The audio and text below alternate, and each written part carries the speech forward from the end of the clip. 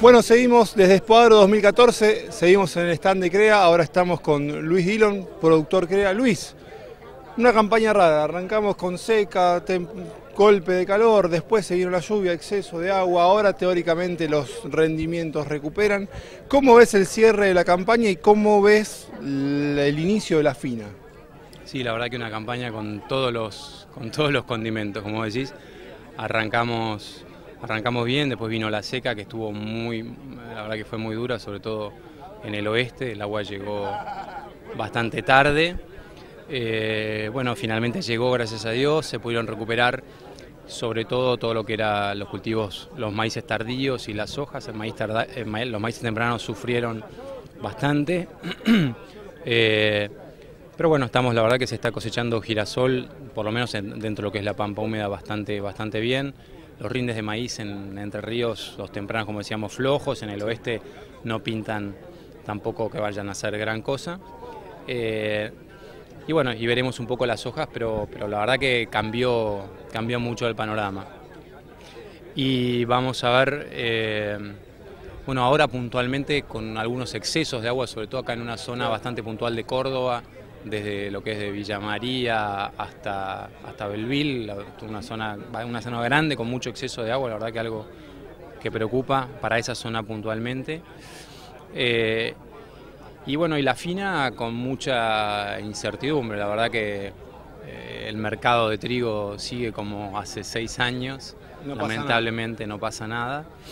Las señales del este mercado, las señales del... No, bueno no pasó nada, no, sé, porque hace poco dijeron no, que se abrió, sí, está, que ahora... está, en teoría se abrió, en teoría los registros cerraron el 19, el 19 de febrero, pero nada, es todo burocracia, eh, digamos, es plata que, queda siempre en el medio, los productores tienen un digamos, demasiadas cosas para hacer, como para que además tener que estar llenando y llenando formularios. Yo creo que, lamentablemente la, solución es muy fácil y me parece que la entendemos todos.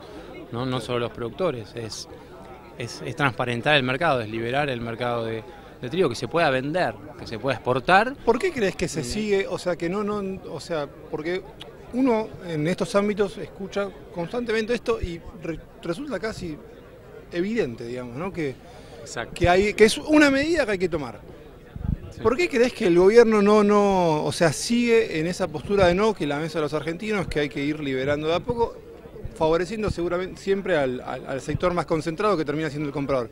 ¿Hay alguna explicación razonable o crees que es un capricho, digamos, o un tema político? Yo realmente no, les, no encuentro explicación y no le encuentro explicación porque los resultados están a la vista, o sea, ya está, es como que tropecé con una piedra, vi que tropecé y, veo la siguiente y, le, vuelvo a y le, le vuelve, o sea, ya, ya lo ya lo vi, ya lo supe, entonces bueno, la verdad que no, yo no le encuentro explicación lógica porque como digo, ya nos tropezamos, ya nos caímos y ya vimos que la mesa de los argentinos tuvo el pan más caro del mundo y nos quedamos sin trigo eh, y estamos desperdiciando oportunidades, estamos perdiendo mercados eh, y eso, bueno, lamentablemente no, no, no, es, es, inentendible, ¿no? Sabemos lo que tenemos que hacer, tenemos todo el potencial para hacerlo, tenemos todos los mercados a nuestra disposición, que esperamos seguir teniéndolos, pero ojo, porque también ya vimos lo que pasó con, Brasil. Brasil se dio media vuelta y bueno, ustedes no son confiables.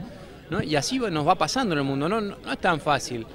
¿No hay en algún punto algún tipo de quizás autocrítica del sector de decir, bueno, no comunicamos bien, no nos manejamos bien políticamente? Algo que uno diga, bueno, podemos mejorar, o sea, digo, ¿depende algo de nosotros o es esperar a una decisión más política que, que, técnica. A ver, ojalá, ojalá hubiera algo que se pudiera hacer. Yo creo que la, eh, siempre uno comete errores, uno no, no, vamos a decir que, eh, digamos, que, habremos, seguramente no habremos comunicado bien, pero, eh, pero digo, hoy es muy clara la cosa, ¿no? Entonces, realmente, hoy me parece que ni siquiera es un tema de comunicación, ¿no?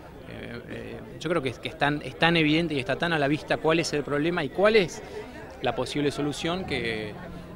Resulta extraño. sí, sí, sí, resulta, resulta extraño. ¿no? Bueno. Y, el tema ahora, perdón porque me había olvidado, eh, me preguntabas por la campaña nueva, yo creo que ahora la gran incertidumbre que se nos viene encima es la financiación de la nueva campaña. Yo creo que ese va a ser el tema.